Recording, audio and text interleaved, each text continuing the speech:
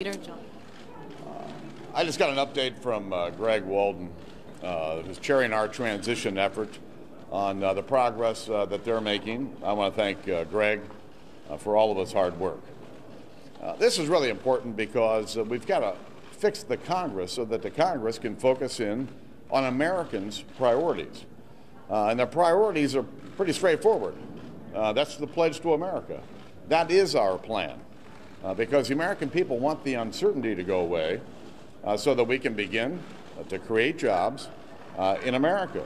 And when you look at uh, our plans to reduce spending, to get the economy going again, and to repeal the health care law that frankly gets in the way of job creation, you can see that we've got an awful lot of work to do. But I'm pleased that Greg is chairing the transition committee. As you know, uh, he's been uh, kind of my go-to guy here over the last year, and everything I've given him, he's done a great job. Greg, Thank you. Thank you. it's all yours. Thank you, Mr. Speaker. Welcome. Um, thank you very much. them. It's all them. Um, you know, I think we got off to a really good start in the transition team. As many of you know, we uh, we had a couple-hour meeting Monday night in uh, Leader Boehner's office. Got a good presentation uh, from different folks about the issues here and how we can make this place more open, more accessible to the public. It is the public's business, by the way. And that is that, that's a statement I'm, I'm giving out to everybody on the transition team. Remember, this is the public's business that we're doing. How do we open it up? How do we make it more accessible? How do we bring the public in? How do we return this government back to the people?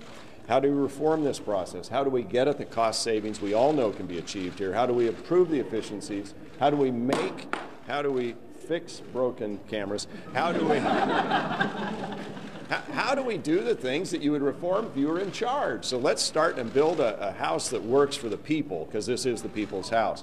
We're, we're also putting a lot of ideas out there, and I want you all to understand that.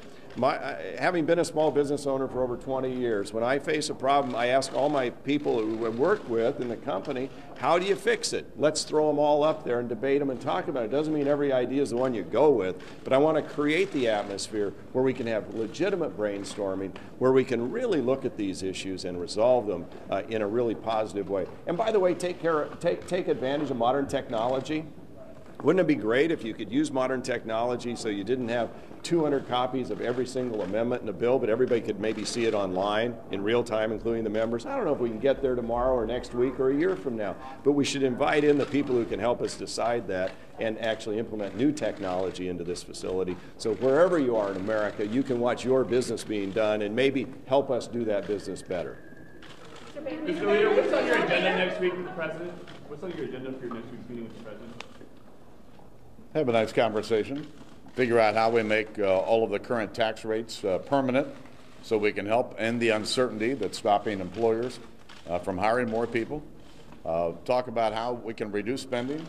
I think it's important that we reduce spending to pre-bailout, pre-stimulus levels. Mr. Boehner, on, Mr. Boehner, on the issue, two reports that federal employees, the number of federal employees making more than one hundred fifty thousand a year is and what you plan do about it, anything? I've uh, believed strongly, and if you look at the Pledge to America, uh, we say that there ought to be a freeze on, on the hiring of new federal employees, and frankly, we ought to freeze the pay. Uh, it's, uh, it's gotten to a point where the average federal worker makes twice as much as the average, average private sector worker. Mr. Boehner, we know, we know, of course, your preference is to make all the tax cuts permanent, but going into the meeting with the president, are you willing to compromise to get something done, particularly compromise on making those for the highest tax brackets, extending that only temporarily? I've only said this about 500 times, I'm going to say it one more time. I think extending all of the current tax rates and making them permanent uh, will reduce the uncertainty in America and help small businesses begin to create jobs again. You can't, you can't invest when you don't know what the rules are, when you don't know what the tax rates are going to be next year. Uh, and that's why uh, making these permanent would be the most important thing we could do to help create jobs in the country. No no Mr. Leader, compromise. have you uh, spoken to the sergeant office to work out your security arrangements in terms of travel? I know that this was an issue uh, when we had the last trans, uh, transfer of power. Is that something that you've had, that discussion, how you're going to get back and forth from your districts and uh, around the country? Well, I have talked uh, to our security folks about uh, the security that's involved in my new role. Uh, but over the last 20 years, Uh, I have flown back and forth uh, to my district on the commercial aircraft, and I'm going to continue to do that. Leader Boehner, every new majority says they're going to do something, run the House differently. Can you tell us about your commitment and how we can judge that in a year's time? Well, I gave a speech uh, in late September, early October, over at the American Enterprise Institute, uh, where I laid out exactly how I intend to run the House.